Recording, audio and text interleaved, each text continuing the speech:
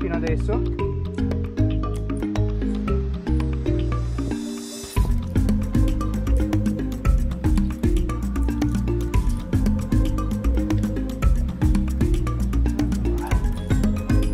Quando hai difficoltà allarga le braccia. Se tu allarghi le braccia